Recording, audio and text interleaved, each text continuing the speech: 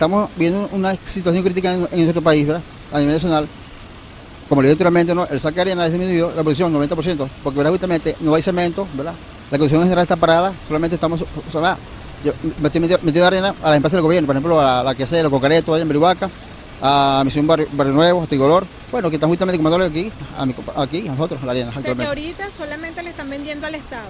Solamente al Estado nada más, porque no hay producción así, difícil, ¿verdad? Poco. El sector privado no está No construyendo. está, no está construyendo, sí, porque no hay